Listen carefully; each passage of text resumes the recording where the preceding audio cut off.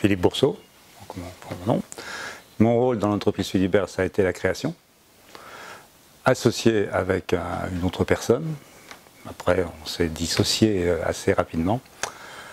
Euh, voilà, et puis disons que j'ai tenu Philibert pendant de 1978 à 2011 avec mon associé de l'époque. Nous travaillions chez le même grossiste en jouets. Donc on connaissait déjà un petit peu le marché du jouet sur, Strasbourg et on déplorait qu'il n'y ait pas un, spécialiste. À l'époque, il y avait des grands magasins de jouets comme Very que tous les Strasbourgeois connaissent et on pensait que ce n'était pas suffisant. Et du coup, comme on travaillait ensemble, on a eu cette idée de monter une affaire ensemble sur Strasbourg. Moi, je sortais de mes études commerciales avec quelques années déjà d'expérience dans le, dans le merchandising en grande surface. Euh, et j'avais envie effectivement d'être à mon compte. Voilà. Donc on s'est mis en, recherche d'un local qu'on a trouvé rue de la Grange à côté de la FNAC qui venait de s'installer. Et puis voilà, et puis on a quitté notre employeur ensemble et on a ouvert Philibert euh, le 2 septembre ou le 5 septembre 1978. Euh, pardon. Alors, à ses débuts, Philibert proposait de la maquette, du train électrique. On voulait se positionner comme le spécialiste en train électrique et en maquette, en modélisme, modélisme statique et non pas radiocommande ou ce genre de choses, et du jeu de société. Voilà. Et puis, au fil des ans, bah, tout ça, ça a évolué, les marchés ont évolué, les opportunités se sont faites, et on a été de plus en plus vers le jeu de société, en laissant tomber euh, progressivement la maquette euh, et le train électrique en, dernier lieu. On était dans, la mouvance des années 80 où il y a eu justement la, renaissance du jeu de société pour les adultes, c'est-à-dire le wargames, le jeu de rôle, euh, le jeu de diplomatie. Tout ça, c'était le début. Et il y avait à l'époque un réseau de boutiques qui s'appelait les Relais des cartes, assez connu parce qu'ils étaient éditeurs aussi et, relais boutiques. Et disons qu'ils cadraient exactement avec euh, la spécialisation que, vers, laquelle on tendait. Quoi. Donc euh, j'ai fait des pieds et des mains pour effectivement devenir relais des cartes. Ça a dû se signer dans les années 82, quelque chose comme ça. Voilà. Et là, ça a été vraiment le démarrage du jeu spécialisé. Quoi. À l'époque, il n'était pas question de vendre du Trivial Poursuite ou de vendre du Monopoly. On était, voilà, on était très, très cadré sur le jeu de diplomatie, sur le jeu de guerre, sur le, début du jeu de rôle aussi, bien sûr. Et après, il y a eu l'arrivée des cartes de collection, euh, cartes à collectionner. Euh, voilà.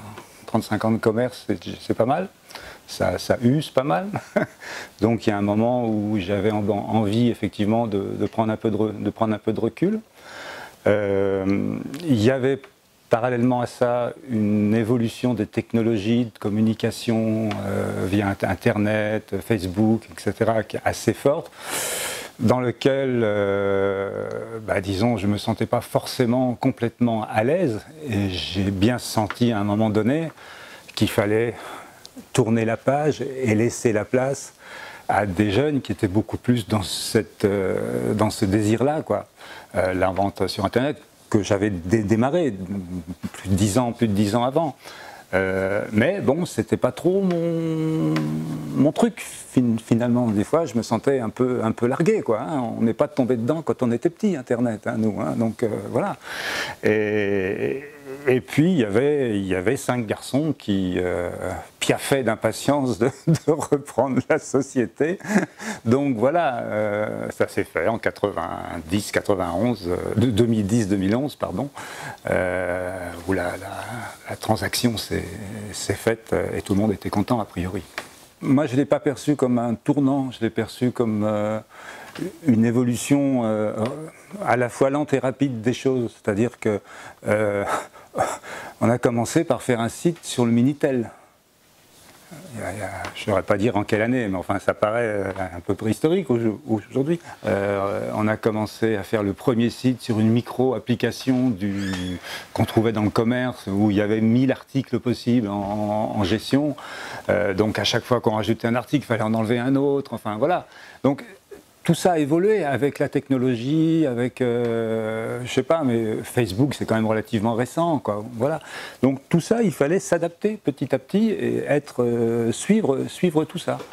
Et c'est là que, comme je te le disais, euh, bon, il y a un moment, on sent un décalage. Voilà. Bon, je dirais que c'est être humain, je pense, comme ça.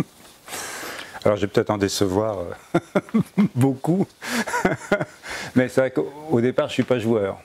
D'accord Donc moi, ce qui m'intéressait, c'était l'aspect commercial, c'était l'aspect euh, vente, l'aspect gestion. Euh, donc, effectivement, du train électrique à la maquette, la figurine historique ou le, jeu de société, euh, il n'y a pas tellement de lien, quoi. Voilà. Mais bon, bah, les opportunités se faisant, on apprend c'est un métier, hein. être commerçant, il faut connaître son produit, donc on, apprend euh, chaque produit, que ce soit le train électrique, la baquette ou le jeu de société, et puis ben, on s'adapte après, euh, voilà. Mais euh, c'est vrai que dans, au départ, j'ai créé le, enfin j'ai participé, disons, à la, création, j'ai lancé le, le, premier club de jeux de rôle à Strasbourg, le premier club de wargames, voilà. Donc on était dans cette mouvance-là, quoi. Même si c'est vrai qu'au départ, j'étais pas un joueur. D'accord? Voilà. Tu es un initiateur de l'écosystème ludique à Strasbourg, tu penses? C'est un bien grand mot, on va dire ça comme ça si tu veux. on va dire ça comme ça. C'est flatteur.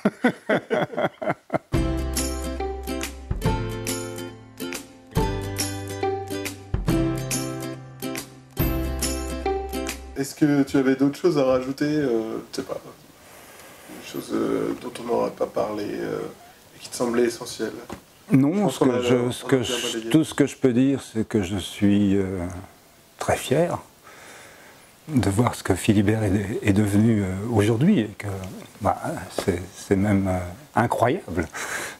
voilà, donc oui, je peux dire que je suis fier. Voilà, je suis content.